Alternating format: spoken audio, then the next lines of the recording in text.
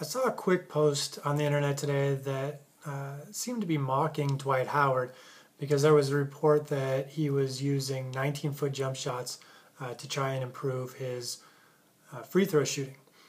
Now, I have no idea what he's doing for his practice or what that really means, but if he's using 19 foot shots as part of his free throw practice, there is some evidence and some reasons for doing that.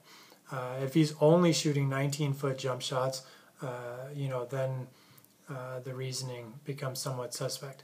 But to use variable practice for free throw shooting um, should have positive benefits in terms of transfer to practice. So variable practice would mean rather than only shooting free throws from you know 15 feet right on the free throw line, uh, you shoot shots from in front of the line and behind the line. Um, I tend to use this as my form shooting practice. Um, I don't do a ton of extra free throw shooting practice um, because our form shooting kind of incorporates this idea of variable shooting, and we move from you know somewhere around 9 to 12 feet from the basket and then we move back usually to about 18 feet. We try to go about you know one yard or three feet um, for each set of shots.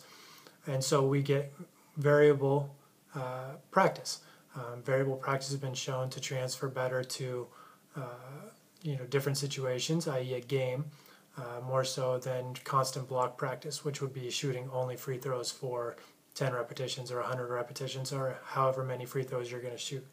Um, you know, I mean, this is, has been shown back to studies in the 80s and 90s um, done by Richard Schmidt um, in various disciplines, um, not just you know shooting.